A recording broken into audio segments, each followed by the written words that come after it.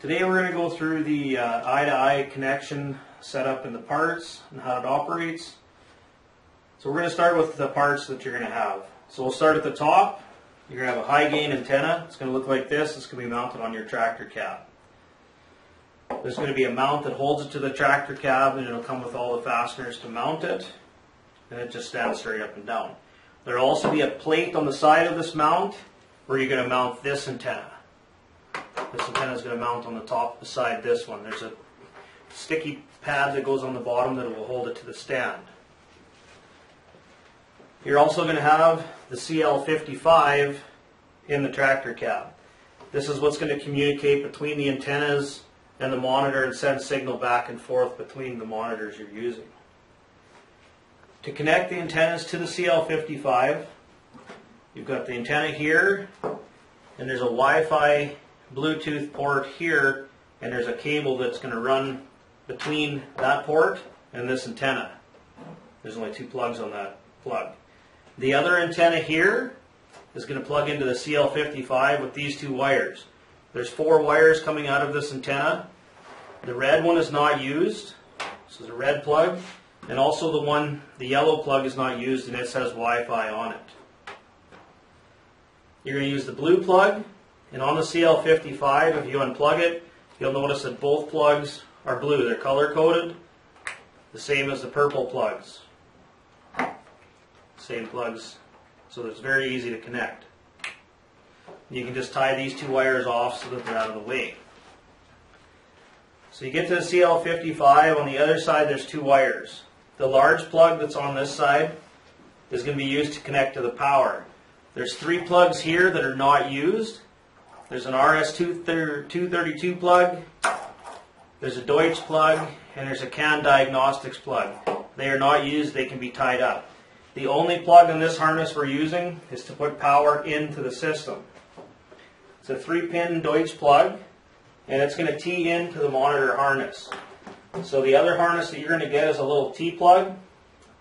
It's going to be tied into the power coming in from your power supply for your monitor and one T is going to go to the CL55 harness and the other one's going to go to your monitor harness.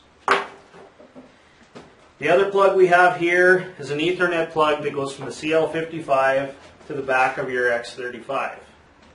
There's only one place it can plug in. These two plugs are different. So it'll plug in the one closest to the large plug. And it just runs up, goes through the X35, and on the back you take the cover off and there's an Ethernet plug on the back of the X35. That's all there is to connecting the system together so it can communicate with the other monitors. Now that we have our CL55 hooked up to our monitor, we need to set up in the monitor so that it's enabled. In order to do that, we want to go down to the wrench in the bottom left corner and touch it, which is going to take us into the settings. We want to touch on System, Features, and Implement, which will take us to the Implement features. We then need to touch on eye-to-eye, M-to-M coverage sharing, to ensure that it's enabled. Once it's enabled, hit the checkbox. Now we can connect to the CL55. To go back to the operating screen to see if we're connected, we press the little running man. And we want to open up the menu view for the software. So that's the little Bourgault icon at the top. We're just going to touch it. Open the menu view. Put our finger on the center of that and drag it to the main view of the screen. We will see the software version and a bunch of other information about the monitor at this point. What we're looking for at the bottom is the IP address. It should be 10.42.0 and the last three numbers aren't important. If it's 192, you're not connected. It needs to be 10.42.0 in order to be connected to the CL55. When the CL55 is connected, you'll have four lights on the front of the box. The four LEDs, so the red one indicates that the CL55 has power. This will go out when switched power is turned off, but the CL55 will stay powered up for up to a minute before shutting down. The CL55 has internal battery power to be able to be woken up for future diagnostic features. The amber light indicates that the CL55 has a cellular network connection. The green light indicates that the CL55 has a Wi-Fi connection to another CL55. It will go out if the implement is out of range from any other CL55 equipped implements. Blue indicates that the CL55 has a GPS position from its connected antenna.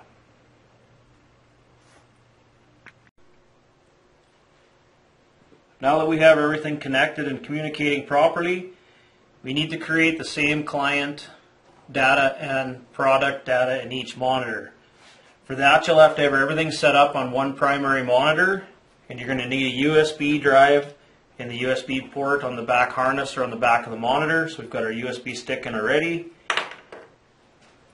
So in order to transfer that data over, we need to go to the inventory manager, which is this little garbage can pencil and USB stick, and touch it. That opens up the inventory manager. Now we need to transfer our information. So we touch on categories.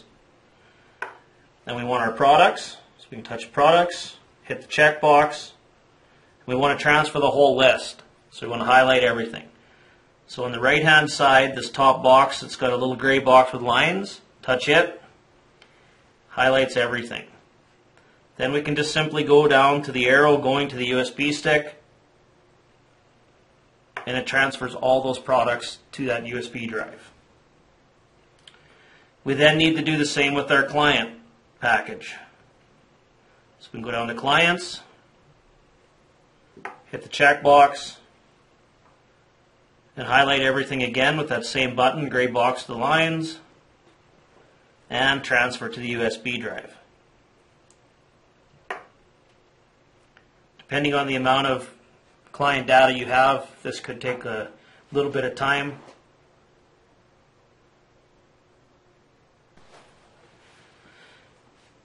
Once this is done, completed, you hit the checkbox, and we now have that information saved on this USB drive for our client list and our products on that USB drive. We can now take this to the other monitors that are going to be using the eye-to-eye because all field names have to be exactly the same and the product names. So we take that stick and we can take it to another monitor and in order to put it back on the other monitors we're going to press this little one that looks like a USB stick. It's going to say Inventory Manager USB at the top. So from our categories again, select our clients, highlight everything, and then we just simply transfer back using the USB stick with the green arrow. Same thing for our products list. We want to highlight everything again and transfer it as well.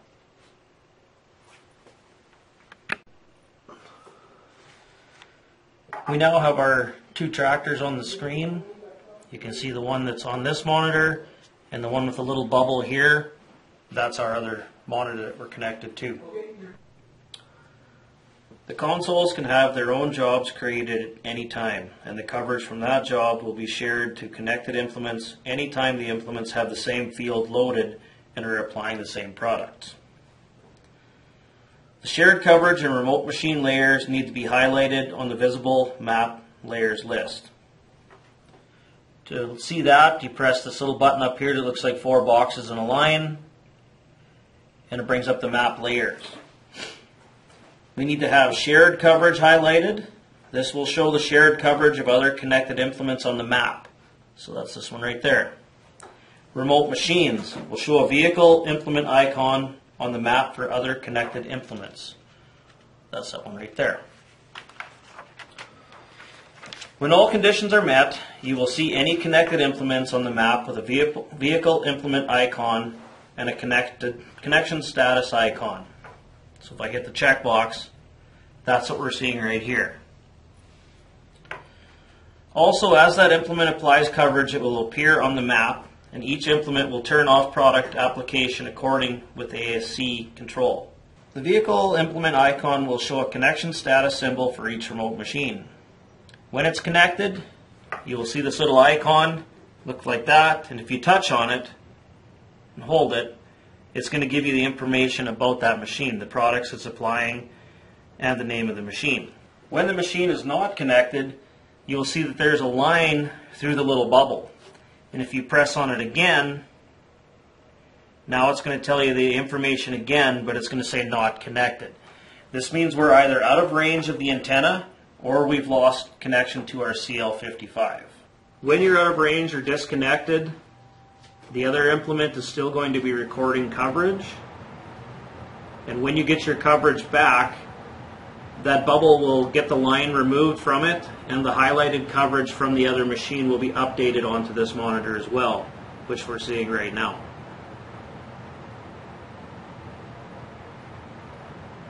As you can see that other monitor moving now. With the shared coverage, the local coverage of the implement will be displayed as a light green. So you can see the light green on this map, and that's for the, the coverage that this unit is covering. The shared coverage from the other implements will be displayed as a darker green, so that's what we're seeing recording right now. When the vehicle implement icon is pressed, it will also highlight the shared coverage a different shade to show the specific coverage for that implement. Being as how we only have one, we're only going to see the one color and it's not going to change. But if you had more than two, you would see that. If you create a boundary while sharing coverage, it will apply it to the combined coverage, but the boundary must be created on each individual console. So once you have your boundary created, you need to go in and create that boundary on each console. The yellow that we're seeing is coverage that is highlighted from previously when the monitor was power cycled. So that's our coverage from yesterday.